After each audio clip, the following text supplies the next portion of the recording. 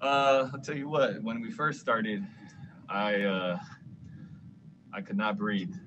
Um, I was just, you know, being off for a little bit, just feeling winded, just couldn't get couldn't get uh, the pop that I needed. And then uh, towards the second half, everything slowed down for me. I was able to kind of get catch catch my second wind and feel better there. Um, that's kind of uh, how it always is in the first game uh, back, but the second one I'll feel much better.